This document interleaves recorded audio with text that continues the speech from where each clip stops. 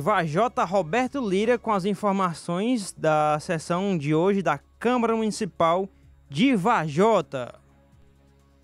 Muito bem, Luiz Souza. Vamos direto trazer as palavras do engenheiro civil Francisco, mais conhecido como Chiquinho, da empresa responsável pelas obras da, do, da construção do sistema de esgotamento sanitário do município de Vajota, ele que compareceu hoje à Câmara Municipal, sessão da Câmara Municipal de Vajota.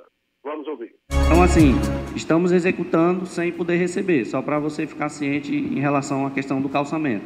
Mas, assim, nós recebemos o ofício, já, já deslocamos duas equipes, a equipe do Paulo, a equipe do, do tem um rapaz lá da Pedreira, e a gente está procurando resolver o máximo possível, porque a empresa tem tem um histórico aqui em Vajota e a gente quer manter esse compromisso com o pessoal de Vajota.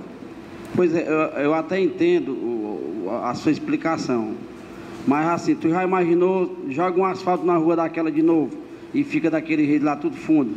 Eu estou entendendo o que você está dizendo, mas o, o, o procedimento que está sendo feito não está sendo feito nem com areia nem com pissar, estão fazendo com o mesmo material que é tirado. Mas o material tem suporte. No, no Cairé, no Cairé foi feito, é? Você é a, né? É a pureirinha que tem. Entendeu? No Cairé você, você anda é, muito, mas, mas você acompanhou. mas a gente lá já, é bem já... feito, lá é feito com areia. Ele bota não, aqui também é bem feito, Aristeu. Não, não, não tô, não tô, assim, eu estou relatando a, em si a é situação que as ruas ficaram. Entendeu? Que eu acho que depois da obra, não era para ter ficado daquele jeito ali. Fez a obra, limpe, limpe certo, e faça o calçamento. A gente, a gente é isso aí está... que gente está querendo. Esse aqui, a, a sogra dele mora lá na rua. A situação, a filha dele não pode mais nem ir lá. Uhum. a gente já, já, está sensível a essa solicitação sua é isso já, aí que a gente pediu. fazendo, entendeu? Entendeu? Assim, a gente está trabalhando com responsabilidade, entendeu? Tanto a empresa tem que ter a responsabilidade dela, como nós temos que ter aqui na Câmara. Uhum. É porque assim, pessoal, povo, né? a obra de saneamento é uma obra chata de ser feita, entendeu? Porque irrita o cara que sai na garagem, irrita o cara que vai passando na rua. E para nós, assim, existe uma dificuldade grande, porque quando eu faço o calçamento, que eu faço ele abaulado, né, que ele mais alto do que o calçamento existente, o cara passa de carro e reclama, entendeu? Quando eu faço ele rente, com o tempo, rente com o, o, o pavimento que era, com o tempo ele vai afundar. Aí também o pessoal reclama. Então, assim, é uma obra difícil de ser feita. Esse problema só vai ser resolvido quando passar o asfalto, entendeu? E aí a, a nossa preocupação é deixar no ponto para que aconteça mais essa, essa, o terreno de ceder, entendeu? Pois pronto, assim, a, a, as suas explicações eu tomarei o que você agora acompanhe. Não, eu venho acompanhando deixe, desde tempo. Deixa ele uma basinha, quando ele afundar, ele chegar mais ou menos, pelo menos no rumo, né? É, isso mesmo. Até quando for botar o asfalto fica difícil, porque se ele ficar do jeito que está, não tem é, como asfalto que chegue. De, é, com certeza. Entendeu? Pois se alguns colegas for pedir, muito obrigado pelas explicações. Vereador Gonçalinho. É, bom dia, Skin. Bom dia. É, eu não lhe conhecia, né? Estou conhecendo aqui agora, né?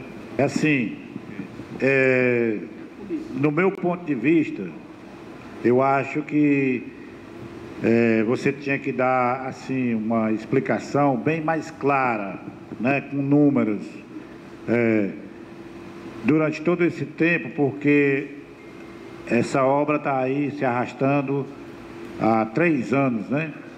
Que vem se arrastando. É, isso mesmo. Né? Então, tem causado um, um transtorno para o povo, né?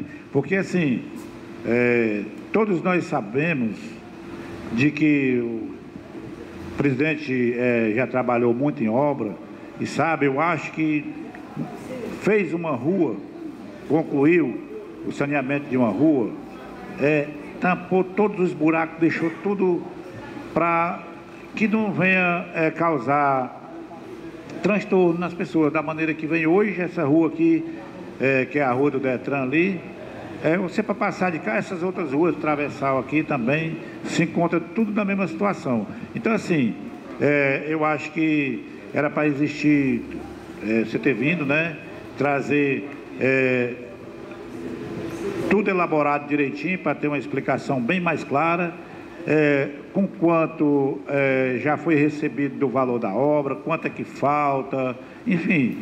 Eu acho que dessa forma, a gente só perguntando aqui, que isso foi tão debatido aqui nessa casa, né? A respeito de, de uma explicação com dados todos bem, bem claros, né? Então, assim, eu acho que você não trouxe nada é, para explicar, Esclarecer, né? para esclarecer é, por que demorou tanto, a obra vem demorando tanto. Pronto, é, em relação à questão da demora, quando nós pegamos o projeto, houve uma alteração no projeto, entendeu? Aí como é que funciona a questão de, da dinâmica do dia a dia da obra? Qualquer alteração no projeto, você tem que fazer um as-built, né, que é, é uma correção do projeto, porque de início a lagoa de estabilização ela ficava aqui no campo, entendeu? Aí teve toda aquela polêmica de vamos mudar porque está próximo da cidade, os ventos predominantes vão vir é, é, em direção à cidade, vai ter a questão do cheiro, do odor e tudo. Passamos seis meses com a questão da desapropriação, é, visita do fiscal da FUNASA, porque toda a nossa, a nossa mudança, alteração de projeto, a gente presta conta. Senta eu, senta o engenheiro da prefeitura, e isso é feito ofícios para a FUNASA, para vir a fiscalização, e a FUNASA é muito morosa em relação a essa questão de, de prazos, entendeu?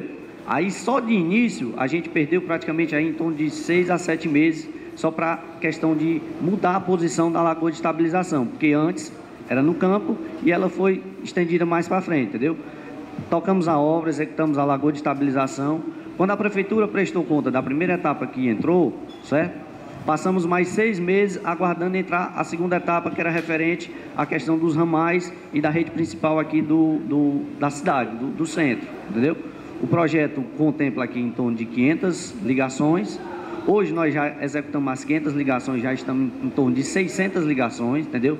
Vamos ter que fazer outro replanilhamento. Tá aí, Roberto Lira. Infelizmente nosso tempo estourou. Fica espaço para sua finalização aí, porque o nosso tempo já mais do que estourou. Muito bem, Luiz Souza. Só dizer que o engenheiro se comprometeu de voltar posteriormente à sessão da Câmara para prestar mais esclarecimentos, porque ele não trouxe todos os detalhes como pretendia, até porque houve, ele confundiu né, a, a respeito do horário da sessão da Câmara, que antigamente era à noite. Ele eh, disse que entende, eh, não sabia da mudança, achava que ainda seria hoje à noite. E foi logo de manhã, mas ele aproveitou e e repassou as primeiras informações. Roberto Lira, ao vivo, direto de Vajota para o Jornal Ceará. Boa tarde.